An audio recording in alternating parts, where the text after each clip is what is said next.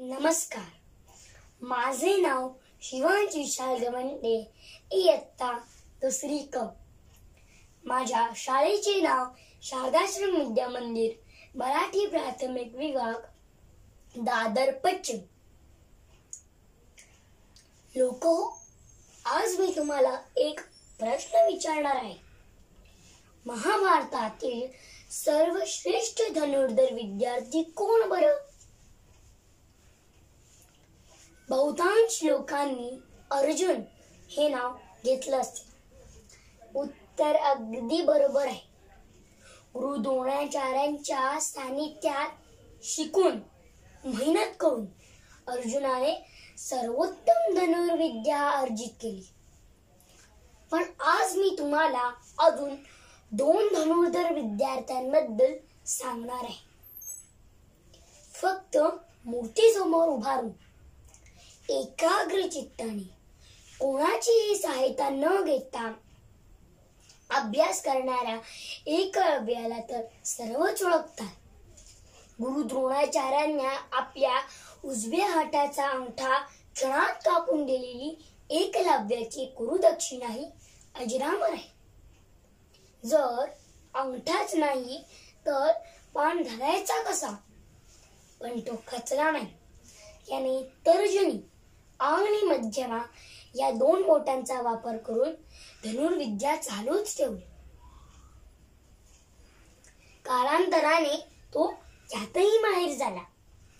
अशा प्रकारे धनुर्विद्येच्या नवीन शैलीचा उगम झाला. वर्तमान काळातही या शैलीने तिरंदाजी केली जाते. सध्या कोणी तशी तिरंदाजी करत नाही जशी अर्जुन करायची. सूतपुत्र म्हणून द्रोणाचार्यांनी शिकवण्यास नकार दिल्यानंतरही हताश न होता वसुसेनारे म्हणजेच दानशूर सूर्यपुत्र कर्णाने आपला सराव सुरूच ठेवला. गुरु द्रोणाचार्यांचे गुरु परशुरामांकडून मी ब्राह्मण आहे असं खोटं बोलून विद्या प्राप्त केली. एके दिवशी द्रोणाचार्यांनी एका झाडावर एक खोटा पक्षी टांगला. आणि आपल्या सर्व विद्यार्थ्यांना त्याचा डोळा भेदायला सांगितला. पण त्या अगोदर त्यांनी त्यांना प्रच प्रश्न विचारला की तुम्हाला तेथे काय दिसते आहे बरं?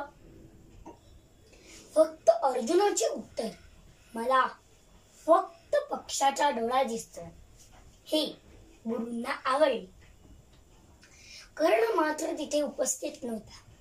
पण म्हणे त्याच रात्री छोट्या भाऊ श्रोणाला घेऊन त्याच झाडावर आणखी उंचावर एक त्याने पक्षी टांगला.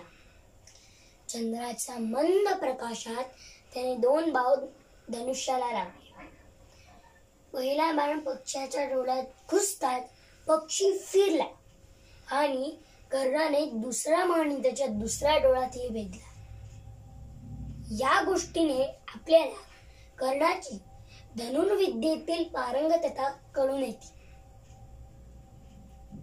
गुरूंचे सानिध्य न लाभल्याने एकलव्याला सर्वश्रेष्ठ बनता आले नाही. गुरूंची खोटं बोल गुरूंच्या विश्वासाला पात्र न ठरल्याने आणि अयोग्य व्यक्तींच्या गोळक्यात राहिल्याने पात्र असूनही कर्णाला सर्वश्रेष्ठ म्हणता आले नाही.